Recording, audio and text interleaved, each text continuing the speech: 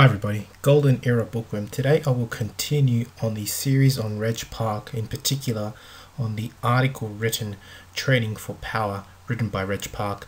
This is the second part in the series and it focuses on Reg Park's, I guess, vision of having bodybuilders also display power. In By the mid 50s, he was actually adamant in reintroducing dinosaur style like training which was starting to slowly disappear with I guess the um, with the advent of performance enhancing drugs. Let's have a look at this great and legendary article written by one of the greatest silver era bodybuilders of all time, Reg Park. Now I already covered the first schedule or the first part of this series of articles uh, where the first schedule covered the squat, the bench press, the two hands clean, the press behind the neck, the barbell curl done in cheat style, as well as the deadlift, which is supposed to be done for the first month. Now, in this particular video, we will cover Schedule 2.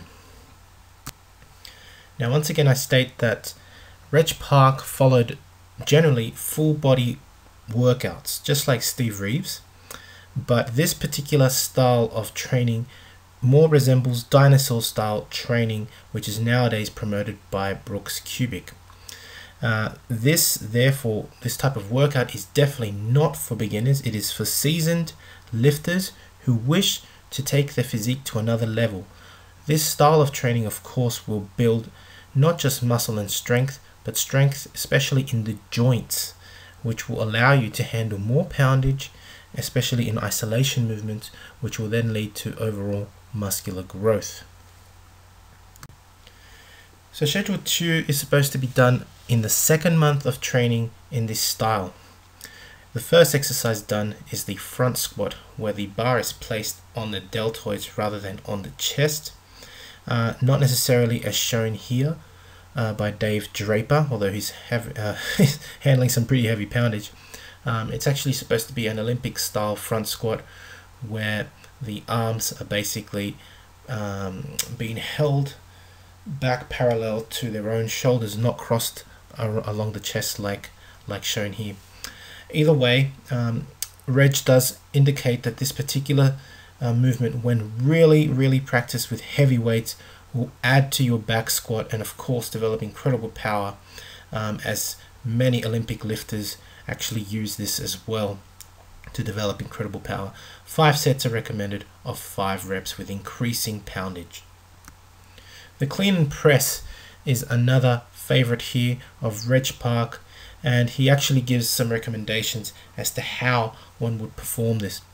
Whether you are familiar with Olympic weightlifting or not, one of the keys to progress is many sets of low reps. So let's have a look at the suggestion here of Reg Park. Suppose your best uh, military press is 250 pounds. Well, you would warm up with 200 pounds of two reps only. And then your second warm up set would be a 220 pound uh, press, sorry, clean and press of two reps. And this is your second set. Now you're all warmed up.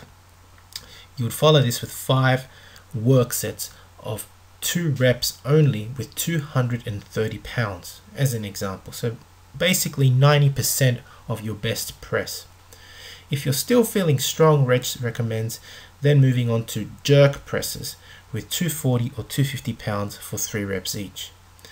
Once you can do the whole workout, including the jerk pressing, you would increase the poundage by 5 pounds and start again. And it is, it is recommended that you use a wider grip than shoulder width for this particular exercise. The third and a very important exercise is kind of stated here as upright rowing, but it is more of a power pull. Um, and it was actually at the time considered an AAU strength lift. The same grip should be um, as performing for cleans, and you would lift from the floor up to the thigh. After this, you would, once the barbell has actually reached the thigh, this is more of an Olympic movement, you pull hard and fast and lift the bar up until it touches the neck. And holding the elbows high, you would then lower to the thighs. Five sets of five reps of this particular exercise should be performed.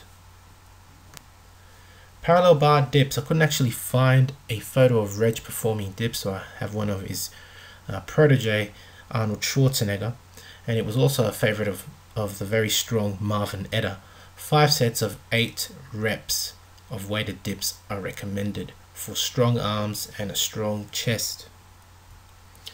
Dumbbell curls um, are then followed in the program, and Reg Park actually reminisces, stating that Grimek could actually handle a pair of 100 pound dumbbells and that's how intense this exercise can actually get one can get rather powerful in the handling of dumbbell curls i actually recall seeing in some uh, cut scenes from pumping iron lou actually handling 100 pound dumbbells so there you go here is reg actually uh, pushing his son jon jon in a set of dumbbell curls five sets of five reps should be performed.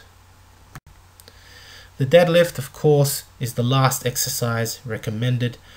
Just like Schedule 1, it should be perform performed only once a week during one of your off days, so one of your rest days. For example, again, if you're working on Schedule 2 on a Monday, Wednesday, or Friday, you would probably do the deadlift on a Saturday or, or one of those days where you would take a rest. And of course, you'd work up to just a single attempt uh, until, uh, single attempts until you reach your maximum for the day.